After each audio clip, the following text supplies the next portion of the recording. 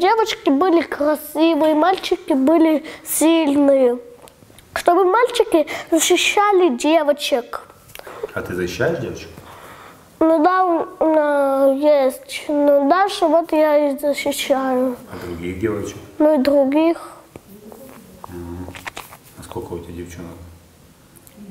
Целая группа.